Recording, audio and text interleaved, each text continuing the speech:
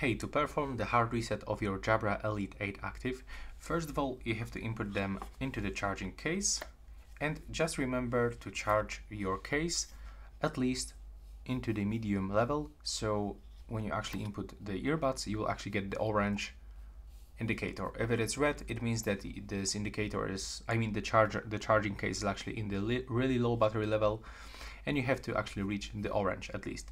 Now when they when the both earbuds are inside you have to just click and hold right here and you have to take a look for this small indicator. If it turns for the pink, it means that the reset is almost complete. So keep holding, there we go. Now it was blinking pink and we have to close this case for five seconds.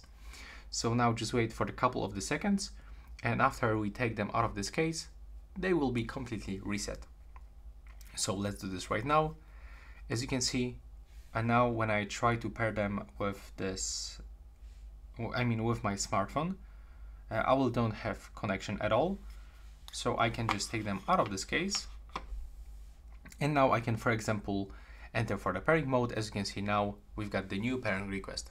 So that's how it looks. Right now, please subscribe.